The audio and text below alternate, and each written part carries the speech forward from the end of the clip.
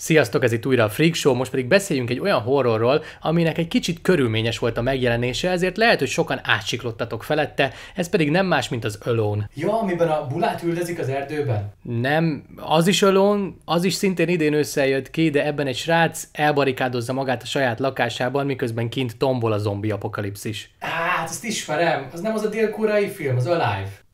Majdnem. Akkor ez egy remake? Nem, de szerintem jobb, hogyha kezdjük az elején.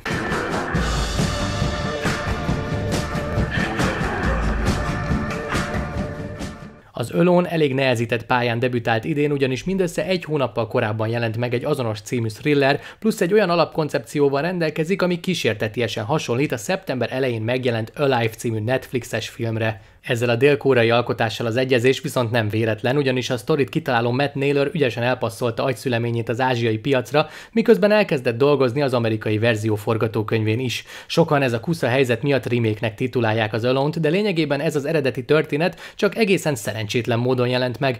Na de mégis mi ez a bombasztikus sztori, amiből megérte rövid idő alatt két filmet is készíteni? Egy vírust kezd el tombolni a világban, ami az embereket vérszomjas ragadozókká változtatja, és emiatt sokan arra kényszerülnek, hogy otthonukban elzárkózva bujkáljanak a fenyegetés elől. Ez a sors vár a film főhősére Aidenre is, aki elbarikádozza magát a lakásában, és nyomon követhetjük, hogyan próbál boldogulni házi karanténjában. Az egyre jobban telő idő alatt láthatjuk, hogyan kezdi elveszíteni élni akarását, miközben a szeretteiért aggódik, folyamatosan mardossa a magány, és mindennek tetejébe házaló ügynököket megszégyenítő szívósággal toporognak az ajtaj ajtajában a zombik. Ám az utolsó pillanatban, mikor úgy dönt, hogy felköti magát egy HDMI kábellel, nem várt fordulat lép be az életébe, aminek hatására mégis képes lesz elhagyni a celláját, hogy szembenézzen félelmeivel. Na és vajon mi az, ami egy srácot arra tud sarkalni, hogy akár egy felé rohanó vérengző zombi hordával is szembenézzen? Kedves férfitársaim, mondjuk ki egyszerre, a p... egy kellemes hölgy társasága.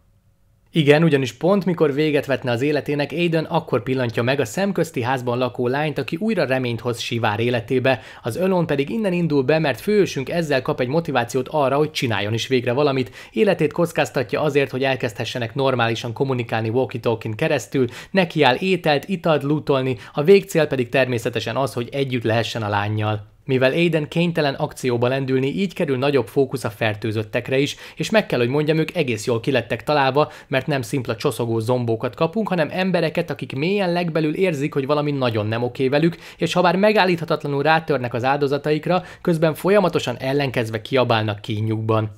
A film által screamereknek titulált fertőzöttek nem mozognak sután, képesek akár egy ajtót is lazán kinyitni, és egyesek valószínűleg még egy programot is be tudnak indítani a mosógépen, ugyanis Aiden szomszédja egy hónappal azután, hogy harapás útján elkapta a kort, olyan makulátlan szedben hesszel a folyosón, mintha éppen csak akkor emelte volna le a szárítóról a cuccait.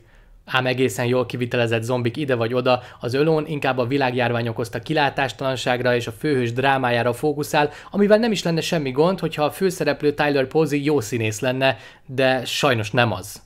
Elhiszem én, hogy egyes nézők számára biztosan jó eye funkcionál, de mivel leginkább az ő vergődését kell látnunk, nem lett volna rossz, ha ezt hatásosabban át tudja adni a nézőknek. A szomszéd csajjal való ismerkedős rész azonban egészen érdekes, és a fertőzettekkel való néhány találkozás is kellően izgalmasra lett megcsinálva, csak valahogy mégis a filmet átitatja a borzasztó középszerűség. Ez pedig zombi harapás módjára eleinte kicsi, majd egyre nagyobb és ocsmányabb sebként lüktet a cselekmény szövetén, amin végül sajnos már semmi más nem segít, csak egy fejlövés. Pedig alapjáraton nem lenne akkor a kulaluk az ölon, az idei évet tekintve sokunknak túlságosan is aktuálisan hat ez az önkéntes karantén sztori, persze a vérben forgó szemű fertőzötteket leszámítva, úgyhogy maga a téma egész jól betalálhatott volna, ha a drámai szálat jobban összerakják. Azt viszont be kell vallani, hogy mostanában nem nagyon vagyunk eleresztve vállalható zombis filmekkel, szóval meg kell becsülnünk, amink van, úgyhogy ha fogékonyak vagytok az élőhalottas témára, nyugodtan próbáljátok ki az ölont, hiszen azért van benne potenciál, és lehet, hogy nagyobb hatással lesz rátok, mint esetleg rám. Ennyi lett volna ez az ajánló, hamarosan új videóval érkezünk. Addig is sziasztok!